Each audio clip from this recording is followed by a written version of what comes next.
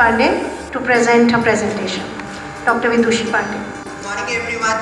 Uh, first of all, I would like to thank Dr. Meenakshi Sharda, Dr. Pankaj Jain, Dr. S.K. Goyal for having uh, this uh, wonderful conference, a national level conference in Kota. It is a matter of pride for all of us and giving me the opportunity to speak here. Uh, so prevention of blindness uh, in context of the geriatric population, I have no financial disclosures. Uh, since it's a mixed audience, a bit of a revision, this is the anatomy of the eye and essentially uh, we deal with diseases of the lens, the cornea and the retina. Uh, generally we have had a thinking till now that anything that is anterior is generally diseases of the developing world. They, are, they have better treatments, they have cheaper treatments, but anything that is posterior is more costly and has slightly poorer prognosis. So before we talk about blindness, what is blindness, what is the magnitude and why is it important for the geriatric population? This is the latest WHO October 2018 data. 1.3 billion people out of a population of a total of 7.7 billion have some sort of visual impairment in the world and 36 million people are actually blind and most of them are people who are above the age of 50 years. So this is very important for the elderly population. But we also need to know the definition. What do we mean when we talk about somebody being blind? This is, the WHO has adopted the ICD uh, classifications for a long time. So currently it is the ICD 11 of 2018. These are the definitions of mild, moderate and severe visual impairment and blindness as per WHO is any visual acuity of less than 3 by 60 in the better eye. Now India has done a lot of work in the field of blindness. India was the first country to launch the National Program for Control of Blindness in 1976 and uh, blindness in India was defined as a visual acuity of less than 6 by 60. So this was a definition that was more stringent than the WHO definition. But this has now been changed in 2017, so our number of blind has come down from 12 million to 8 million by bringing it in uh, uh, line with the WHO definition. And so currently we have 8.8 million people who are blind and this many people who have moderate to severe visual impairment. This was according to data published in Lancet in 2017. India has done had a lot of progress, so it's not all grim uh, here. The number of cataract surgeries has risen dramatically, 1.2 million in 1992, 3.86 million, and currently uh, the data is yet to be published, but we do over 6.5 million cataract surgeries per year, which is more than what is done in many of the bigger countries. The prevalence of blindness has also come down in the age group above 50 years and this survey results are still awaited officially. So this is a graphics from the uh, IAPB, the International Agency of Prevention of Blindness and uh, 36 million people blind, this many people having visual impairment. Most of these visually impaired people live in middle and low income countries and now even though the prevalence of uh, percentage wise is decreasing, the increase in the number of people, increase in population means that the number of blind is increasing. And now there is also an emphasis on the near vision impairment because in our lifestyle most of the things that we do are have to deal with near vision and this is another big problem with a huge number of population affected simply because they do not have a pair of presbyopic glasses to aid in their near vision. So what are the consequences of vision problems in the elderly? This has been proven in multiple studies that if you have vision loss in an elderly, you have many more physical and mental comorbidities. It is associated with depressive symptoms and lower life satisfaction and there is obviously a higher risk of falls in these elderly patients if they have vision problems. Blindness is the third biggest fear among the population, number one being cancer, number two being heart disease and after that people are very afraid of going blind in this age group. And unlike infection and malnutrition causes which are seen in children which are preventable, Prevention of blindness in the elderly means basically timely management of diseases. So we may actually want to prevent the diseases like somebody asked how to prevent heart disease but all we can do is manage them timely. So it is like elections, you may want the best of candidates but you have to choose from what you have. So here also we have only timely management, not that we can prevent the diseases altogether. So uh, it may not be preventable but it is avoidable and it is curable. So what are the common eye diseases that are seen in elderly? Cataract, refractive errors, glaucoma, diabetic retinopathy, age-related macular degeneration and these problems which are not blinding but they are problems nonetheless for the elderly And this is why blindness is a bigger problem in the geriatric age group because most of these uh, problem causes of blindness like cataract, glaucoma uh, and AMD etc. they occur in age group uh, above 40 or 45 years. So presbyopia is a universal problem. I'll not go into it because this does not cause blindness, but the number of people affected is very large. This is 2018 data. So many people have a near vision impairment which affects their lifestyle. Cataract is by far the leading cause of blindness all over the world, especially in the developing country. We all know it is a clouding of the crystalline lens. It is called cataract, which basically means waterfall in uh, Latin. The symptoms are there is a painless gradual decrease in vision, there is blurring of vision, a glare during night driving, altered color perception, and sometimes uniocular diplopia. And all this happens because as the lens gets cloudy, there is scattering of light and that causes blurring of vision. The risk factors are, it is basically an age-related process exacerbated by smoking, poor nutrition, and there is higher incidence and it occurs earlier in diabetic people. If your patients uh, had cataract at a certain age, the children are likely to have it at an earlier age. If you've had steroid therapy or other eye diseases like uveitis which cause inflammation, then you're likely to develop cataract. This is a slit lamp picture. There are different kinds of cataract depending on where the cataract occurs in the lens. Uh, this, this is an immature cataract, this is a mature cataract, totally white, this is hypermature with wrinkling, calcification, this is ganglion cataract, these are not details which the general uh, physicians need to know, but it is good to have an idea of the spectrum of cataract. Now, cataract surgery has evolved rapidly over the last few decades in terms of surgical techniques as well as IOL designs. Uh, these were the earlier techniques like couching, which were there uh, since 600 BC in the times of Sushruta. Then came extracapsular cataract surgery, uh, and then the intraocular lenses. ECC with IOL is still one of the widest performed surgeries because it is less expensive, less machine dependent, lesser learning curve, therefore has lesser complications. It is still suitable for many hard cataracts and small incision cataract surgery had made ECC also sutureless. So even though in the cities and the developed world we all talk about phacoemulsification being the standard of care, but when it comes to eliminating blindness from our country, this is still the go-to surgery for all of us. So, and now phacoemulsification, this is the modern surgery. Now this is a short video. It is about the uh, journey of cataract surgery and this just shows how technology in the medical line has evolved. This is one of the earliest surgeries where couching was done. Essentially when the lens was all matured, the zonules were weak, you could use some instrument to push the uh, opaque lens out of the visual cavity. It would fall back into the vitreous and the patient would have a clear visual axis. Then uh, Sir Harold Ridley, he invented the first intraocular lens. This is the first intraocular lens being implanted by. Look at the surgery. I mean, if we see surgery like this, probably the residents would fail. So this was done not very long time ago, 1950. This is the cataract that is being removed, such a large incision. And this was one of the best things that came out of the World War II, that the intraocular lens was implanted because it was found that acrylic is an alert material then Charles Kelman, he devised phacoemulsification, which is what we do today. This is the earliest video of phacoemulsification. You remove the lens capsule and then you use uh, ultrasonic probe to go inside and emulsify this uh, cataract into small, small pieces and suck it out of the uh, uh eyeball. And after that, uh, once the cataract is removed, you implant the intraocular lens. So as you can see from the surgery that was done by Ridley, this is of course an improvement and now it is a highly precise surgery. You not only remove the cataract but you also remove the refractive error. Even if it is a wide cataract you get wonderful results.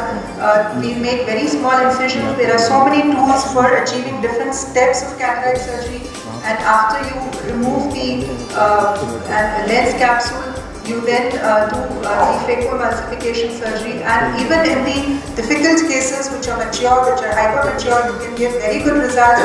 And not only remove the cataract and place an IOL but also take care of the presbyopia, the astigmatism, the other refractive errors. And so the patients uh, uh, get vision and also become spectacle independent.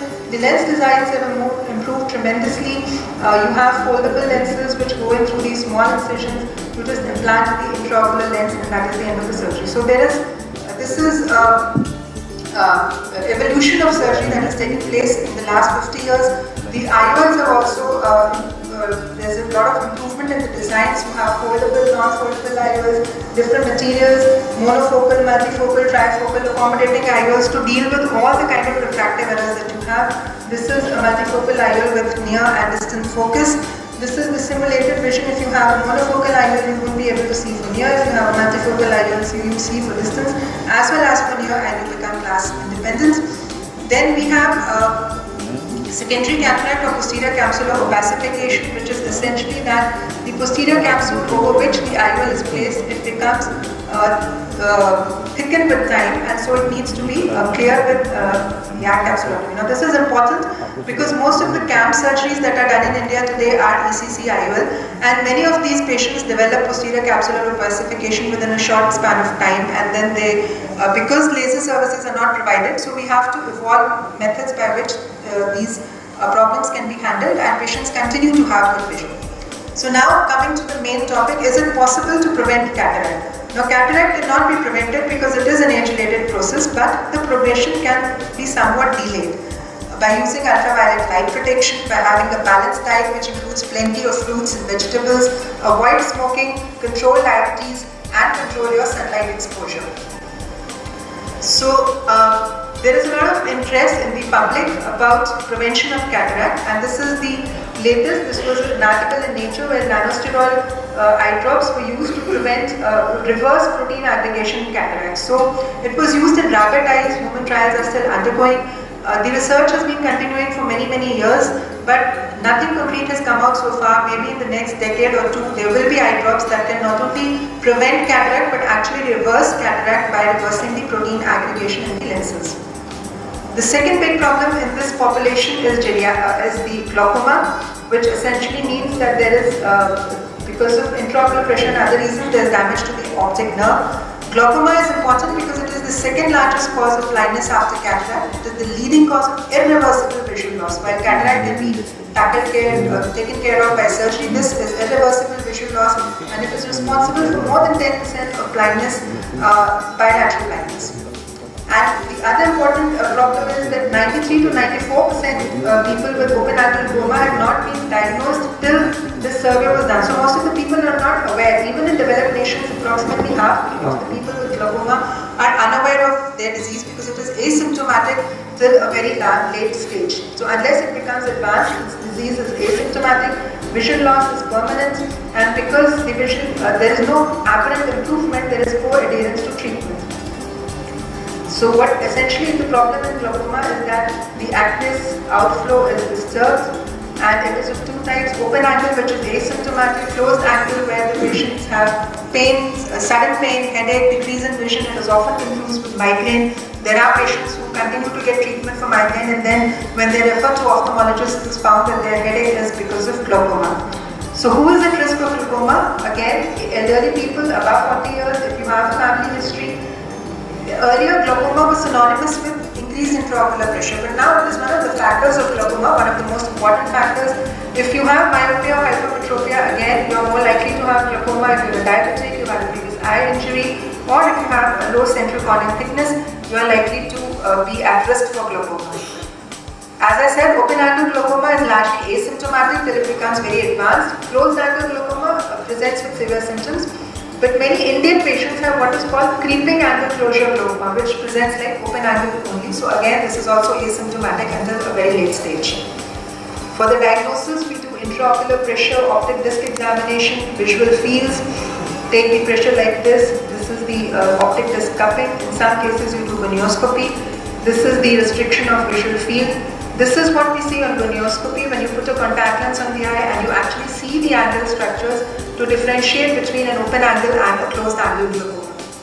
So in glaucoma, the treatment goal is not only to reduce the IOP but also other factors now like neuroprotection, vasoprotection and to establish a target IOP according to the severity of the disease. And the most important thing is to ensure compliance. So there are different ma uh, management modalities. You have lots of eye drops now which are very effective in controlling the glaucoma and intraocular pressure. This is done only for closure. Surgery can be done in uh, cases which are not responsive to eye drops. Uh, this is very important. All of us, I think, should emphasize if we see patients of blood and glaucoma, we should emphasize that it needs to be regularly monitored. And similarly, physicians who see and know that the patient has glaucoma, they should emphasize that this needs to be regularly followed up because this is the most important challenge. This is the surgery that can be done this is the laser that is done in some cases. So patient compliance is a particularly important issue in glaucoma because glaucoma is asymptomatic and the treatment is preventive. So the patients don't feel that there is any benefit of whatever treatment they are taking. And the, it is a chronic disease. There are several medications often, so it is difficult for the elderly patients to put the eye drops themselves, two, three eye drops, two to three times a day. The treatment can be expensive. Some of these drops can be very expensive, so we must uh, look for alternatives which are cheaper priced. The uh, local and systemic side effects also contribute, and like Dr. Purushottam Mittal said, we should always proactively inquire for side effects so that the compliance is improved. Next, we come to retinal diseases in the elderly people. The common problems are floaters, diabetic retinopathy and age-related macular degeneration. Now this is this has got nothing to do with blindness, but because it is so common, it is good to know that many patients can experience uh, floaters which appear something like this, things that are floating in your visual vision. They are very disturbing and annoying, but they are, in majority of patients, they are harmless. All you need is a good retinal examination dilated to ensure that there is no other problem in the retina. Now this is the normal retina uh, which has uh, photoreceptors and RP layer etc. And what happens in ARMD that is age-related macular degeneration is that there are depositions of certain materials in the RP layer, these are called drusen's or they can be neovascular membranes which leak fluid. So the symptoms of ARMD are there is blurry vision, distorted vision, straight lines can appear wavy and uh, there can be gradual loss of central vision, problems in reading and often ARMD is so subtle uh, to see on the fundus that it is detected after you've done a very successful cataract surgery but the patient does not have a good visual recovery. So you can see all these things. Things are distorted, straight lines are wavy, uh, reading is a problem. Sometimes you can have a central dark area. This is a picture which shows drusen's. This is uh, ARMD. Uh, not much of a role of treatment except for antioxidants. This is wet ARMD where you have hemorrhage, you have leakage, in the late stages, there's scarring. These are drusen's again.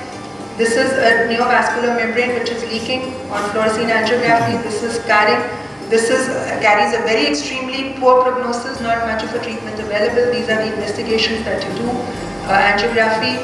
OCT is a very uh, good tool that has come in the last 10 years where you can actually see the layers of the retina and you can see things like macular edema. This is a normal retina this is retinal pigment epithelium. You can see things like subretinal fluid, pigment epithelial detachment, macular edema, and it is all very clear in the different layers. So prevention, good diet and supplements may have a role, avoid smoking, but unfortunately it is not as responsive to lifestyle modifications as other diseasing, aging diseases like the ischemic heart disease. Uh, good lighting, so we can uh, have some treatment, good lighting, correct glasses, magnification devices to ensure that they continue to lead productive lives. Earlier it was said about ARMD that the treatment basically gives patients poor vision to give, keep them from getting terrible vision. So treatment wise, there is not uh, very effective treatment as of now, but there are these different injections that are available and the cost is also coming down which ensure that the vision that the patients have is maintained. This is how the intravitreal injections are given and they act on the uh, uh, these are anti-VEGF uh, injections, so they prevent the neovascularization and leakage. Diabetic is the next big problem and uh, diabetics are 25 times more likely to go blind. Uh, these are the risk factors, long duration, poor metabolic control, coexistent problems like hypertension, kidney disease, etc. And uh, it's also, if you have diabetic retinopathy, the uh, risk of cardiovascular death also increases. These are the things that you see in diabetic retinopathy, uh, in uh, exudates, in microaneurysms, hemorrhages, and these are the kinds of diabetic retinopathy, non-proliferative and proliferative. These are some of the terms that we often use. This is a non-proliferative diabetic retinopathy, you see hard exudates, and you can have macular edema. This is all leakage that is seen on um, my, uh, angiography. These are hard exudates because of the leakage. This is proliferative diabetic retinopathy, neovascularization leakage from the disc. These are again some pictures, these are laser marks. Treatment is control of all these factors, treating the coexistent problems and regular dilated screening fundus examination in diabetics is a must. This is, cannot be overemphasized. This is still neglected in our country that all diabetics must have a dilated fundus examination at diagnosis and at regular intervals. Good control of diabetes, uh, then uh, injections, the aim of all treatment is to maintain their vision. However, if there is no treatment, then the vision is sure to go down and the patients will end up with very poor vision. In very, uh, these are very severe cases which require surgery like vitreous hemorrhage, etc. The surgery is very sophisticated and we all want to prevent uh, the patient from going there. So what is the ray of hope in all these geriatric cases? Regular eye examination, regular dilated fundus examination, Cataract has a very cost-effective and high-quality surgery. Glaucoma is controllable, ARMD, good nutrition and supplements, and at least smoking is something that has a lot of role in many of these eye diseases, so we must control it. In diabetics, rising obesity, poor diet, all these things should be controlled. Overall, 75% of blindness is either preventable, treatable or curable. So it is not a very grim situation. So to conclude, timely diagnosis, adequate management and follow-up to ensure good vision for the elderly patients so that they are able to remain independent, mobile, engaged, economically active and have a better quality of life in their golden years. Thank you.